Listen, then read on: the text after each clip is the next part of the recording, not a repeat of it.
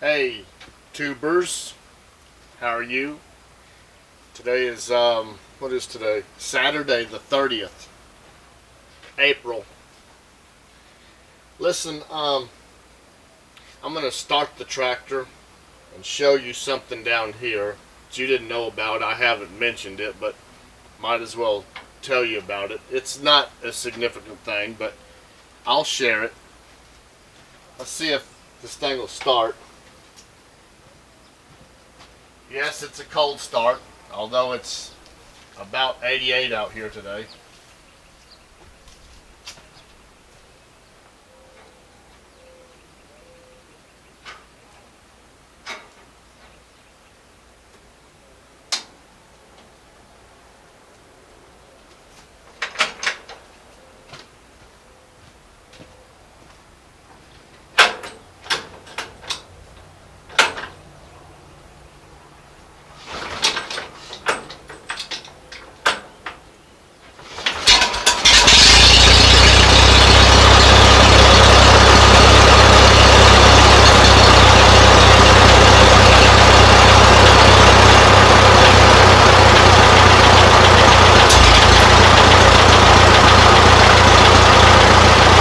Alright, I'm gonna get the tractor out of here, then I'll show you this deal.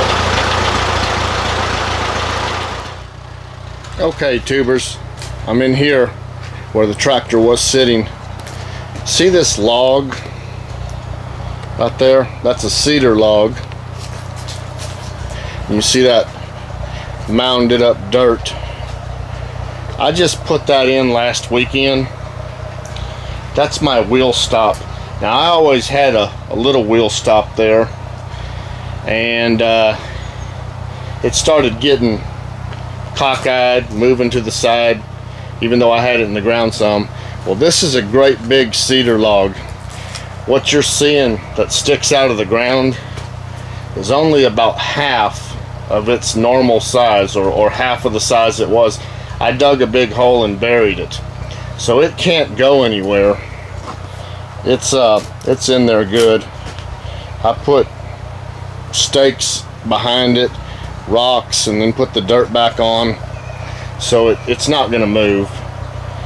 And what that is you can't tell really on the video here but this uh, port where I keep the tractor it's got an incline to it. Not too bad but it's it's enough that the tractor would roll. So that uh that's my wheel stop right there.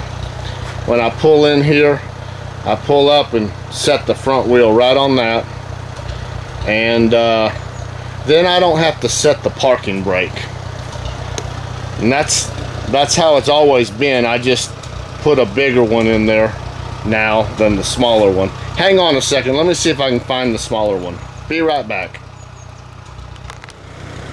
Okay there you go. That's the one I've had always. It's about four inches wide. And um, about half of that so kick it over. I don't know if you can see the dirt line on it. You see about half of it was buried in the ground. But it started getting sideways on me and leaning and just bothered me. So I went ahead and changed it. I yanked it out of the ground.